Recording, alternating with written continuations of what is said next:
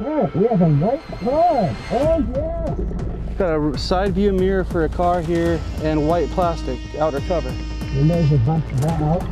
Hubcap. It is there. Oh, it's a white Chevy. What's the registration say? 19 is when it expired. Oh, we got a Chevy. There's a, uh, there's a Chevy Grill. We want to welcome you back to day three as we are looking for Duke Heringer out of Clarksburg, California. Now, Duke was 63 years old when he went missing in 2018. The family believes that, you know, with his excessive uh, drinking and substance abuse, we're either looking at an accident or we could be looking at a potential self-harm on this one. The first two days searching in the area, we have one main body of water that's been our big focus because we have a cell phone ping over at the Steamboat Slough Bridge just to the west of where we're at this morning. Now with that location, we were able to identify that there is a vehicle in the center of the canal there, or the center of the slough, and it is currently upside down. Now normally, when we come into this, into a rural community where there's only a couple hundred people, we're only going to locate one, maybe two vehicles. However, on our first day of searching, I'm going to throw up the uh, map right here for you right now. Our first day of searching, as we come from this from the uh, Steamboat Slough Bridge downriver, we actually ended up finding 10 vehicles on the north side off of Sutton Road. Now, on third day one, we ended up diving on two of those vehicles that were very potential high probability targets. The first one ended up being a Nissan and not a Chevy Cruze like we're looking for. And the second one, really, we thought at the very end of the day on day one, we thought for sure we had found Duke. The way that this vehicle was upside down, being able to identify that it had five spoke wheels in the same fashion that Duke's car did. Being that the rear wheel had the same distance on sonar anyway, from what we could see topside, from the rear of the wheel to the rear of the car, it appeared to be Chevy Cruze in size and shape. However, once we ended up diving on it, it was an Audi, blue in color, and not the white Chevy that we were looking for. So we stepped back into it on day two, where it was a little bit more windy. We ran the slough about six miles in length, and we ended up finding on the south side over here, we ended up finding another nine vehicles. One was an SUV, we found a pickup truck, we found a potential Jeep, maybe a boat, as well as some other vehicles and some memorial markers where looks like a, you know a family and individual had gone in. The vehicle is still in there, but they were able to recover the uh, individual from that one. So that brings us into yesterday. At the end of yesterday, I did everything I could to get down on that car at the very center of the slough up by the steamboat uh, slough bridge.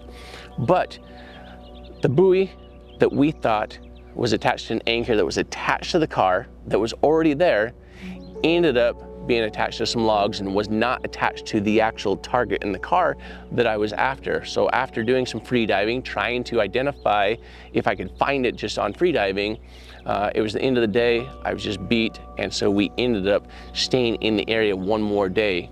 Because as we were on the river, on the slough yesterday, I have a red rope right here in the water. I have a high probability with this vehicle that is upside down, this could be Duke.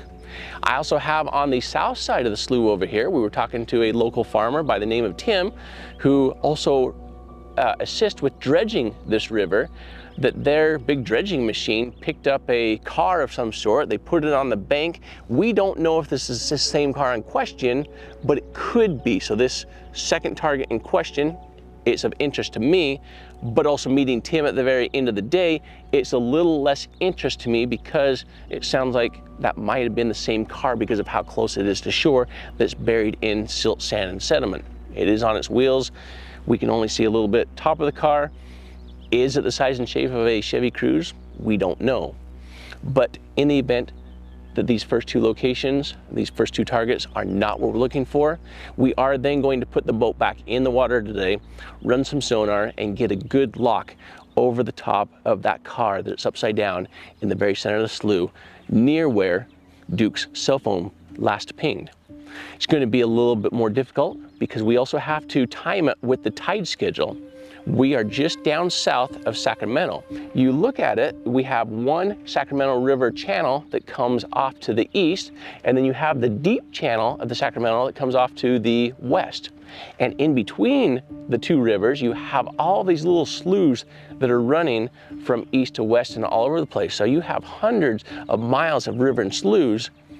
And for the family, we just want to make sure that with 100% confidence, we do what we can for them while we're in the area to clear Steamboat Slough for them today. So we appreciate you being here with us.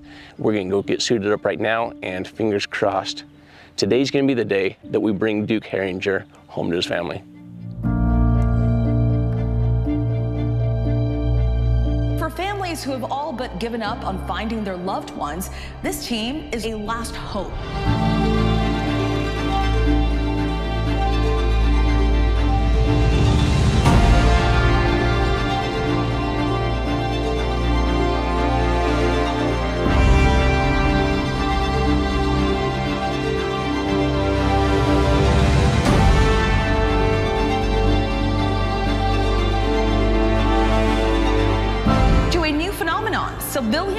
Cracking cold cases for free.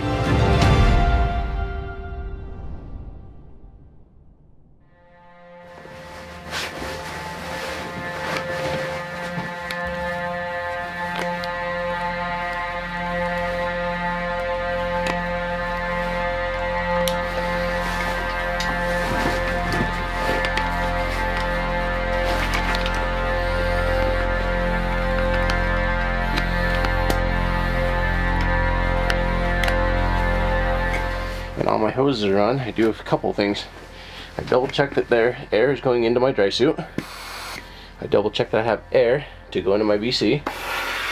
I double check that I have air to breathe in emergency. I double check that I can release the air. And then I also double check that I have air for my face mask regulator. And then I also make sure that I have air in my tanks.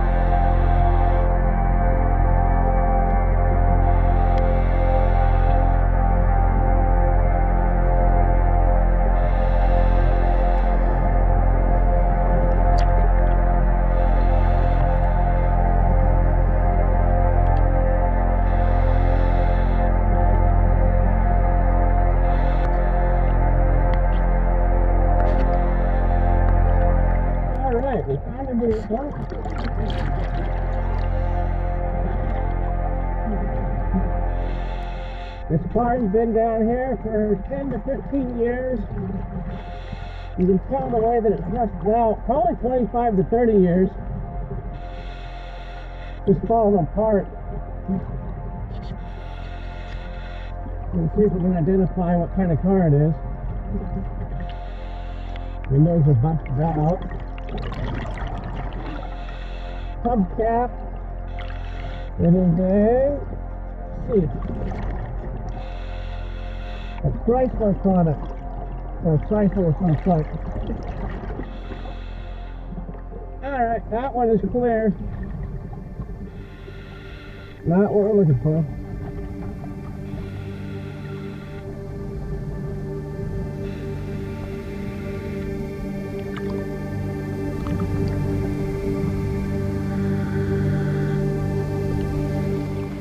Not what we're looking for. It's an old Chrysler been down here for, I would say, 20 to 25 years. No plate, it's, it's old and rusted. That part's already fallen off.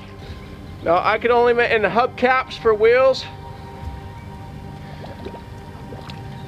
I could only make out the uh, hubcaps themselves.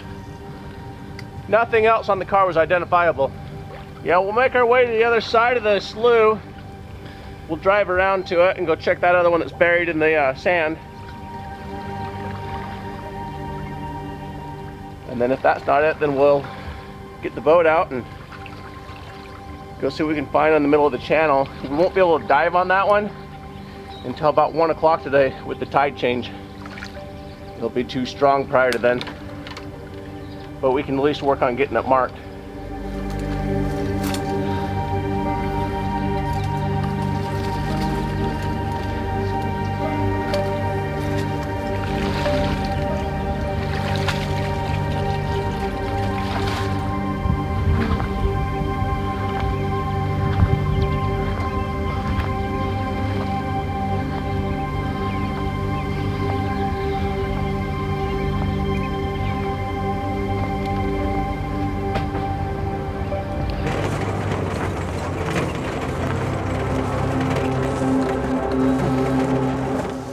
Yeah, yeah, there's my rope right there.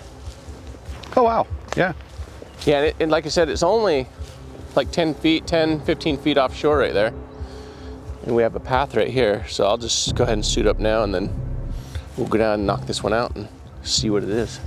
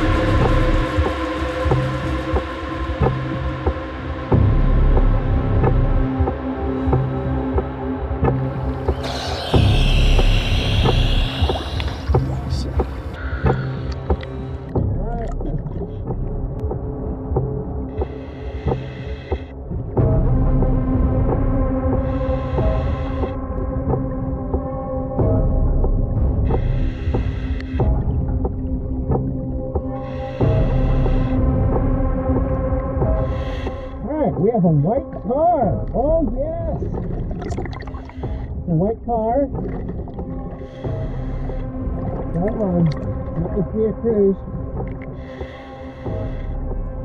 Windows open.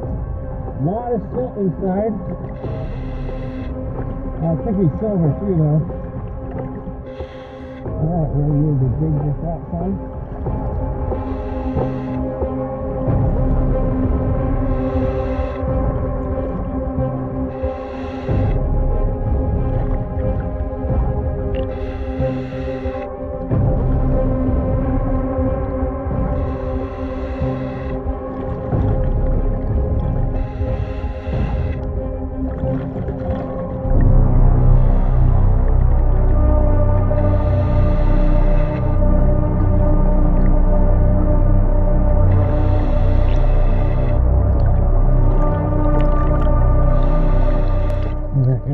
A door. We're looking a. Oh,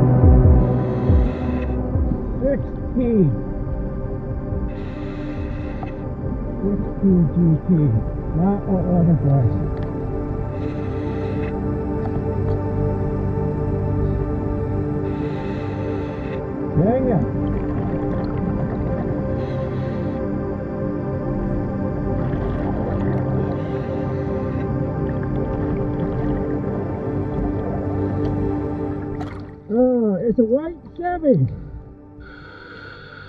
But not the one we're looking for. We'll double check, but I think we're looking for a 7 DQ S 691. That's an old plate. What kind of a Chevy was it? We couldn't tell, it's really buried. I couldn't tell, all I could tell is it was a Chevy. From performancechevy.com with the dealership. When when what's the what's the registration say? Registration is from 19 is when it expired. Oh. He went missing 2018. So this has been expired a while. Just do a, uh Google search to see if the plate is coming up as somebody that's missing. So that's what we'll do next. This is the first car on this slough I've been able to identify any plate number. Coming back to a 2012 Chevrolet Malibu. And let's see, theft records. We have a date reported of theft of 1-2 of 2020. I was hopeful you just had the plate wrong. I was hoping too, but yeah, Malibu is not a Cruze. Very similar in size and shape. But yeah, unfortunately not what we're looking for. And it's stolen.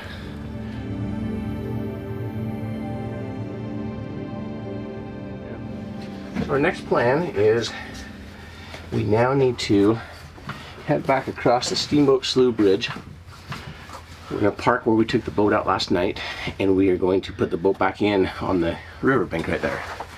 We're then going to mark that vehicle in the center with my marker rather than what we were doing yesterday, hoping that that other buoy in the river already was attached to it. Once we attach to it, we're gonna wait for the one o'clock hour or so and that's when the tide is changing, coming back in with the river and that'll give me a better chance to be down in that current without it being with that with it being a better safety margin of safety for us. So that's the plan right now. Yeah so this is the the back of his car. Has a little lip here but the car that I was just down on it had like a little lip that kind of stuck up a little bit more. And it wasn't very big it was only about that wide. And it just went bloop at the very end of it Hello, Jared. Hello, sir. Giving you a uh, mid uh, morning update for you. All right. So we've been on uh, two vehicles so far. The first one was a uh, older Chrysler that's been down there for 20 to 25 years. Oh my. And then Okay. that was the one on the north side of the slough. And then we came over to the one on the south side of the slough that's buried in all the mud and silt. Dropped in on it. It was a white car. Um, identified it as a Chevy. Got my hopes up. Got to the license plate and it was not the right plate. And Oh, we yes. identified it as a Chevy Malibu. Oh my gosh. But you know, so close. yeah, so close. Yes, right colors, right shape, and uh, yeah, unfortunately not. So now we're uh, gonna head back up, put the boat in there at Steamboat uh, Bridge, and then we're gonna go mark the one in the middle and see what we can do to identify that one today. Okay. So anyway, right. that's the update so far. Great. Hey, uh, now we're planning on you guys for dinner tonight, so uh, whatever time you're available. I, be I here. I heard the menu. I appreciate that. Oh. okay. All right, sounds good. Chat soon. Uh, thanks. Yeah, bye.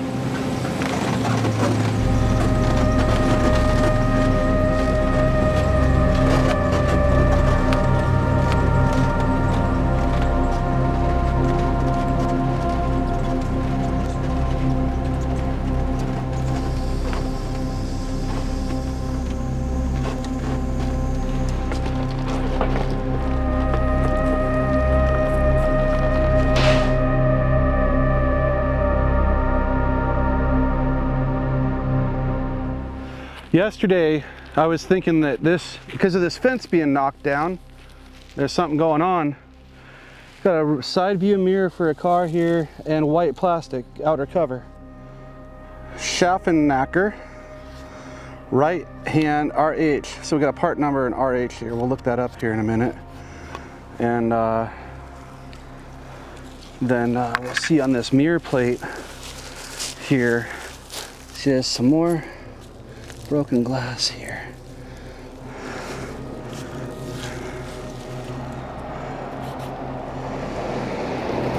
Honda. Okay. Dang, not a Chevy. I have uh, eBay listings of a right-hand side mirror, but that's not the part number matching up.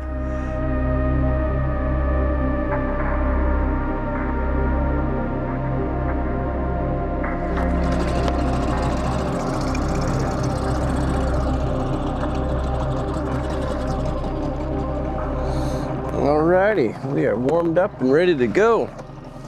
Let's go see if we can find this car.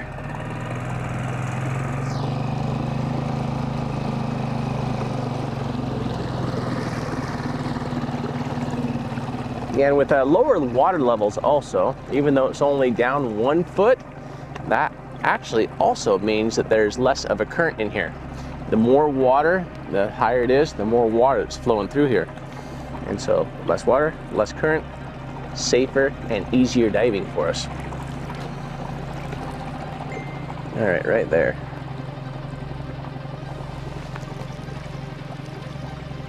All right, just back up a little bit. I was so close to it too, look at it on sonar here.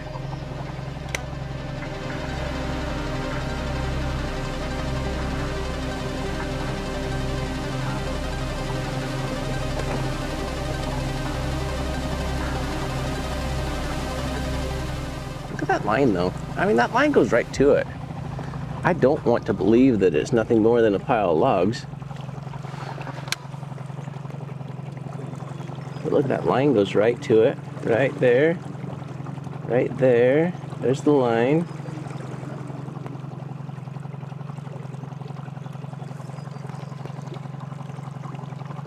And I was all over that pile yesterday. This might be a pile of logs which is what I was on yesterday. To hit some different angles.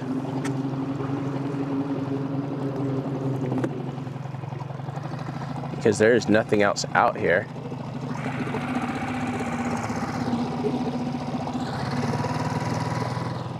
We're right over the top of it there. So that's right in line with that tree. And it's right in line that black bag. All right, I'm just gonna spin a little bit and get some different readings on it.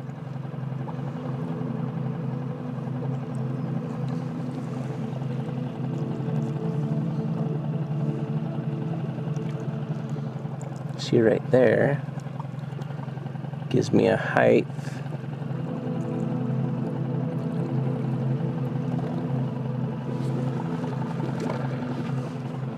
this up a little bit here.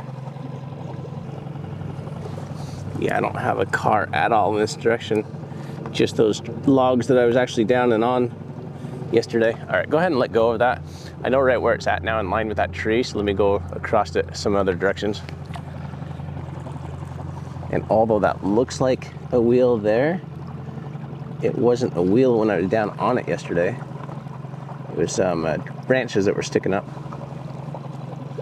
and it's only at that one angle that looks like a wheel.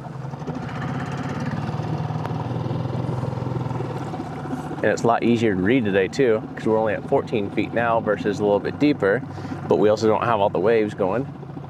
So a much cleaner image today on it.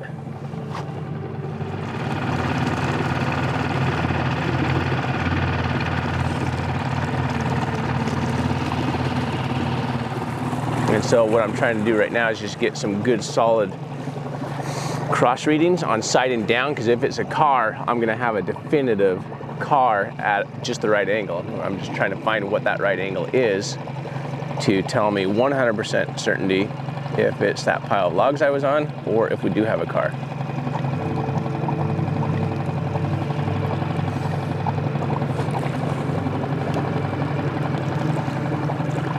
And right now it's just looking like a pile of logs.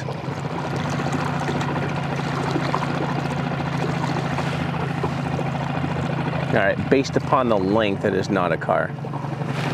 And what I'm looking at and able to decipher on this one is I'll show you on the camera. I ended up getting the perfect angle that I needed to convince myself one way or the other. So based upon the speed I was going, and you have the ridge line of a shadow here, and with the ridge line of the shadow, see how the length of this, we're, we're looking for an object that is roughly 18 to 36, 18, less than 18 feet in length. And if you take this and you turn it, we're looking at roughly 25 feet in length, which is about how long the log was that I was down there on it yesterday. And so you have one log on the left, and then you have another log about the same length, about 25, 30 feet on the right-hand side of that as well. So that confirms what I saw visually as well while I was down there with the ropes and all the different logs that were down there as I was diving on it last night. So I think that what we need to do then at this point is right now it's still early on in the day. I want to do one more thing just to, for my own consciousness, even though we've cleared this slough, the painter the Paintersville Bridge is just up the road about a mile, mile and a half from here, which is the bridge that he would always cross over as well. We have a lot of opportunity for him to go off the side of the road up here. Some parts of it has a guardrail, other parts of it do not. And so I want to take the next hour or two and I think that we should just go ahead and run it, Cade, and let's go make sure we finish clearing parts of the Sacramento River as well and just do everything we can on this case while we're in the area. Fingers crossed we can still find Duke today.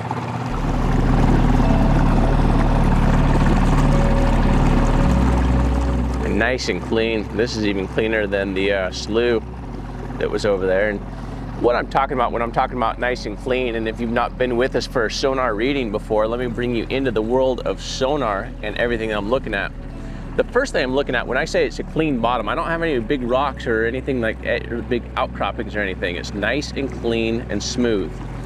Uh, that's not smooth, but that's where the pipe was at right there. So when I see something like that pop up, I'm able to be like, all right, that's piping. So when I'm talking about smooth, nice and clean, real easy reading, and this one here is down imaging. So you go from zero, so this is my grid line, and this is automatically adjust. So from zero to 22 feet matches your depth over here. I normally run about 36 to 40 feet out from shore, for, and the way that I look and engage that is on my side imaging. I usually cast 75 feet to the left and 75 feet to the right. Again, anything that is black is water column. And I'm looking for anomalies like this. Now that's a little bit smaller, uh, not quite the size of a, a, car, but we can flash back to what cars look like from previous days. And hopefully today we'll be able to find you another car. Over here, so this is a picture in time. So if I need to scroll back and I need to zoom in on something, I can do so. And I can just be like, all right, that's not a car, or it is a car. And then that usually says, all right, I need to move over 35 feet and then really pinpoint it with my live scope. Now my live scope over here is whatever is happening in real time. So if a fish swims by, like this fish that's swimming, I can see a little fish swimming by. So when we do get over a vehicle, we'll give you an example right here, you can actually see what a vehicle looks like in real time on sonar right here. And that is a quick down and dirty overview for you as to what we're looking at and some of the terminology that we use from live scope, down imaging, side imaging, picture in time, live. All right, so I'm happy with this. The main thing I want to do is come down about a thousand yards from where the bridge was at to just double check this side, which this is the one of the channels for the Sacramento River. This is the eastern one, and we are currently on the east side where River Road is at.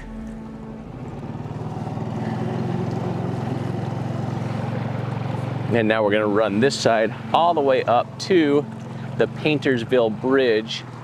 Uh, from time to time, we may jump back to the other side if we happen to notice that there is no guardrail. And the main focus on this area is just because at the Steamboat Slough Bridge is where we had a last cell phone ping for Duke. Now Duke himself is the youngest of, so eight siblings and uh, one passed away when Duke was in his teens. And then uh, Duke is, has now passed away, or we're assuming he's passed away because we've not been able to find him and he's not making contact with family. So with that one, I believe there's six siblings that are still alive from what I understand, Kate. Duke himself never had any children and his mother had passed away just a couple of, uh, weeks or months before Duke went missing. So for a mother to not have to have that heartache and the wondering, you know, it was, I, I guess we, we can say that it was a blessing that his mother had passed away before Duke went missing. And maybe that was one of the reasons why maybe Duke, you know, chose substance abuse. And maybe it was either an accident or it was on purpose is what put Duke in that along with just being 63 years old an older male who um, you know had depression in his life and substance abuse. And you just never know what people are going through. And I guess you know that's a reminder that you know if you could walk a mile in somebody else's shoes and never judge them you know they might be having a bad day you run into somebody at the grocery store and they're just having the worst day you don't know what happened earlier on their day or earlier in their life or the week or the month. And so, you know, I just want to say, you know, we need to all be considerate and passionate for everyone in life and try not to let somebody else's behavior trigger a, a response from us and just think, what's going on? We don't know. Everybody has something going on. I have stuff going on you have stuff going on. Everybody in the entire world has feelings, hurts, depression, sadness, happiness. And we as humans, let's do everything we can to make it a little less burdensome on those individuals out there.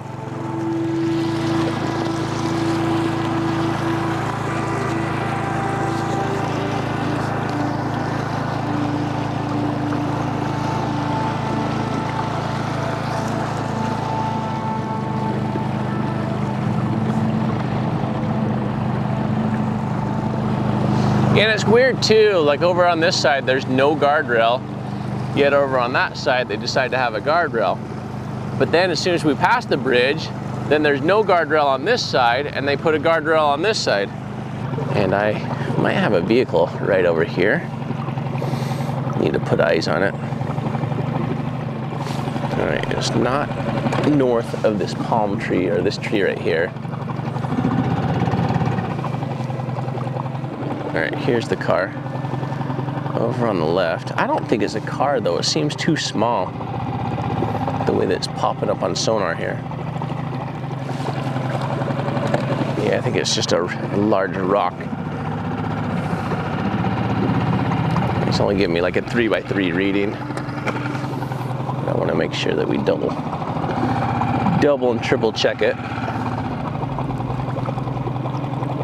See how that bank drops off on live scope. It goes from pretty much six down to, we're gonna head down to 25 almost immediately. 26, 27. And I'll show you on, on uh, side and down imaging. In fact, it's only really showing up on down imaging here, just right here. And it's not that big. It's only, oh, like I said, two to three feet in height two to three feet width and nothing on side imaging. So as a result, I'm gonna rule that one out that that is not a vehicle. Over here, we have guardrails have now switched from the west side. They're now over here on the east side.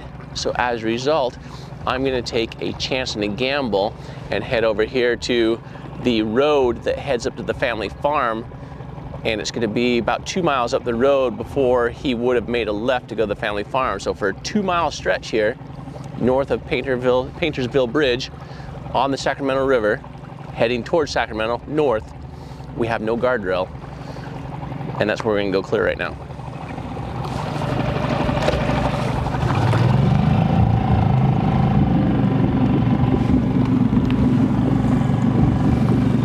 Green bush that green bush right there. I don't think it's a car. No, not a car. Just a pile.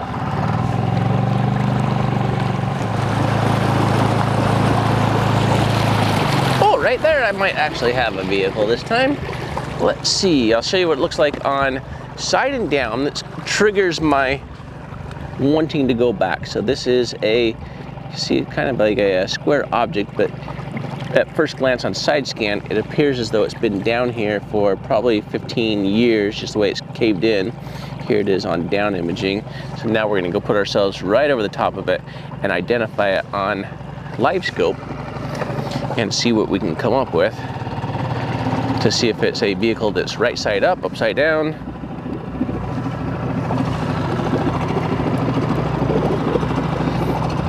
And so one of the first things we do is we identify based on the shoreline, where from the shoreline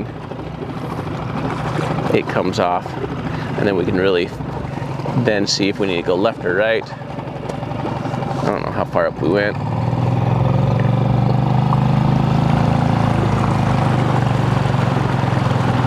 The other thing too, while you're out here on the rivers, is you see things floating down, want to always make sure that we check them and make sure it's nothing that we need to be picking up and reporting.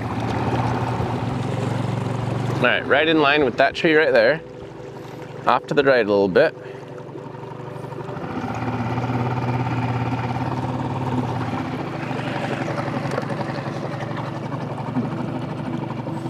You're right there on live. See that on live a little bit? I think it's a pickup truck.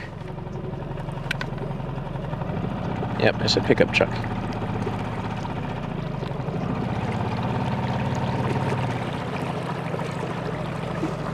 So we can get a better reading on it.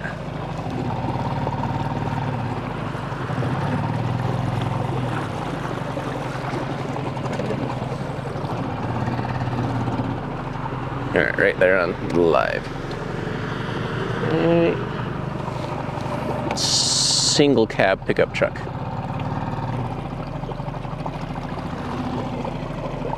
Let me get you a good shot of it here. There you go. All right, see it right there? Single cab pickup truck.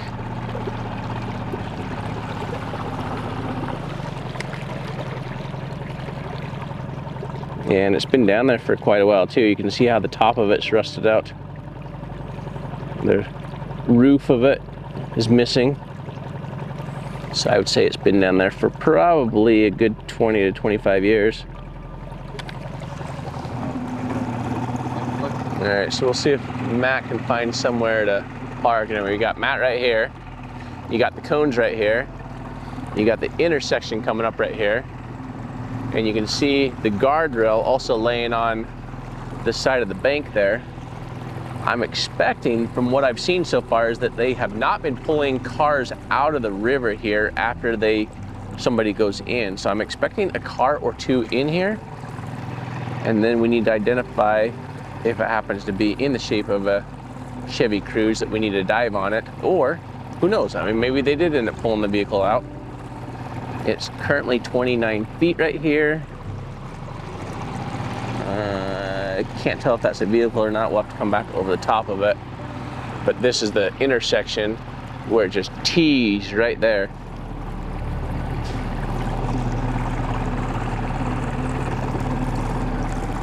And that guardrail has just been wiped out. They're getting ready to replace it. So yeah, let's scan that area good and see what we can find. And I'm actually surprised. Let me show you on sonar here. I'm actually really surprised. We may not have a vehicle in here. And that's what it's looking like on live, but this is what it's looking like on side and down. And it's actually really, really clean in there. Like these are these are little rocks and stuff like that, but we have no vehicles sticking up. This is the sandy bottom out in the middle of the river. This is the bank on the right-hand side. And we will double check it down 100 yards or so but I'm just not seeing anything in the way of vehicles. Now this dark shadow on the left-hand side here is where the bank drops off even more from the levee. And so what we'll want to do when we come back over it is we'll move over further to the left to make sure that we scan it. We have kind of a shiny object there, but it's not big enough to be a car. And then these are trees in here. Yeah, it is clean. I'm actually really surprised.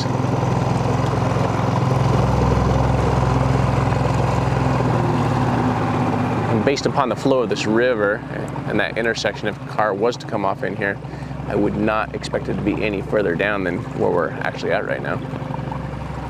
So what I want to do is I just want to move over to the right a little bit more to get out of this shadow section and to just drop us into that right at the bottom of the levee and the riverbed to give me a good solid reading since we scanned closer to shore already. Yeah, surprisingly, no car in here, Cade.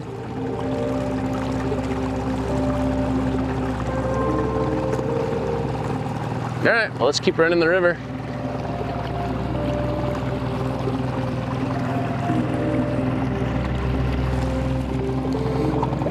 All right, look at this. We have another pickup truck right there. Another farm truck. Old too in here. It's been in here for 10, 15, 15 to 20 years. So two pickup trucks so far along this route. Single cab.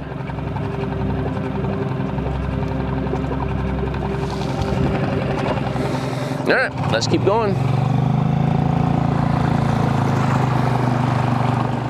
What do we have? Let's go over to the right a little bit. Mm, you know what? On down imaging, it almost looked like we had five spoke wheels on here.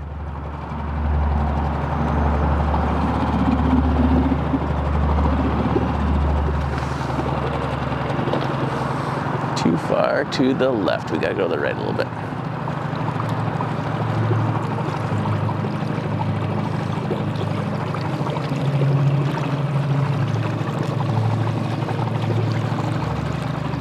Okay, we are too far to the right.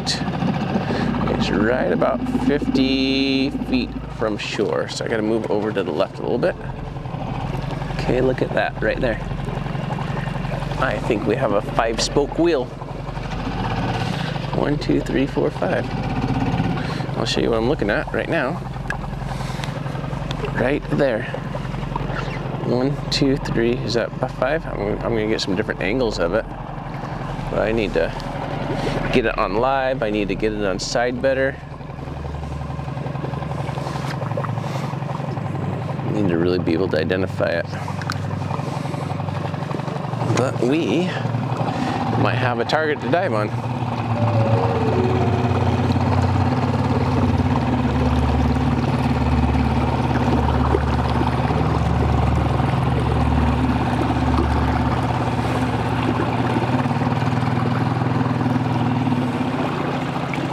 It is on live, but barely, like I can barely pick it up right there.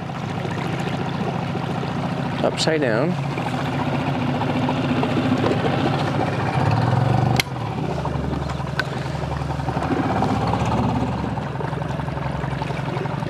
Fourteen feet in length. Twelve to fourteen feet in length. Right there. Look at the look at the front wheel.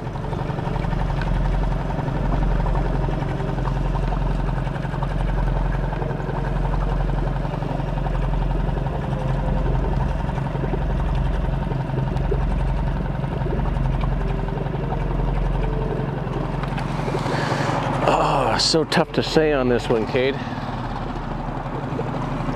I feel like we have, we're gonna have to dive this one.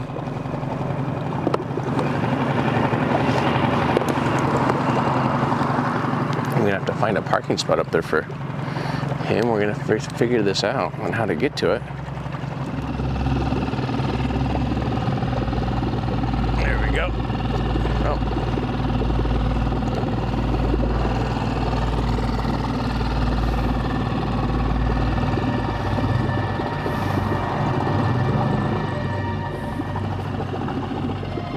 There we go. There we go. Now we got a solid lock.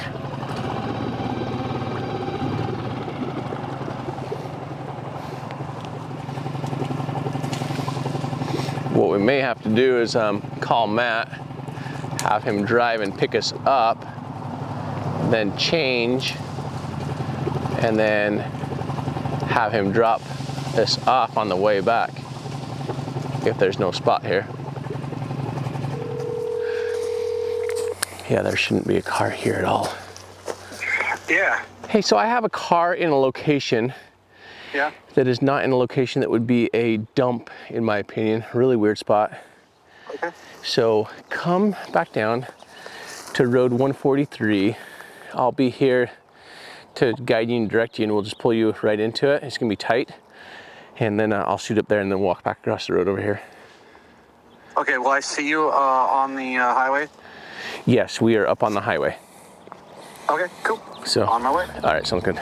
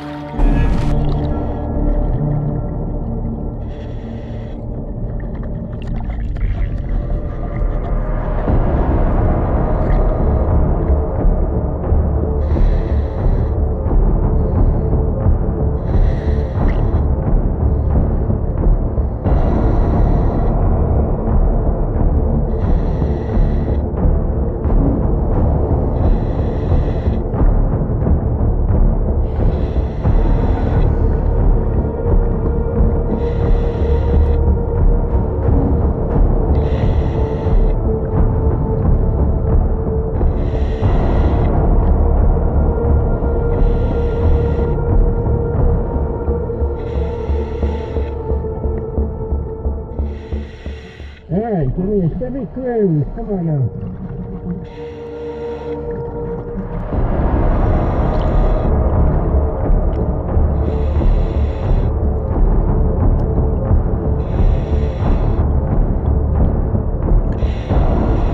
Oh, we got a Chevy. There's a, uh,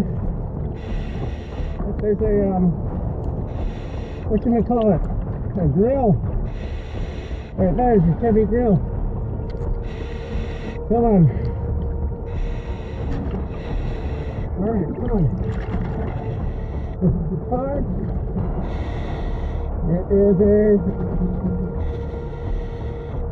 RSX.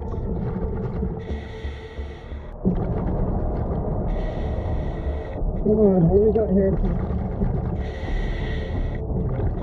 This is the rear vent. I think it's white.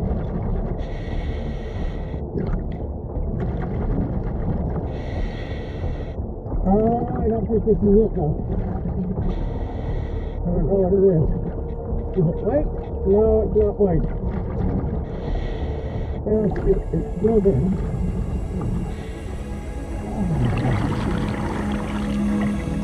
That's a, that is a Honda. Alright, I mean, this five star. One, two, three, four, five.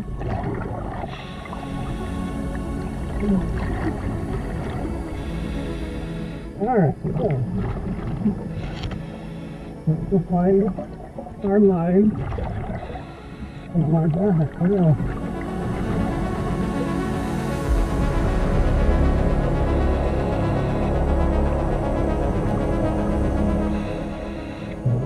the grill, but I think that's a pickup truck.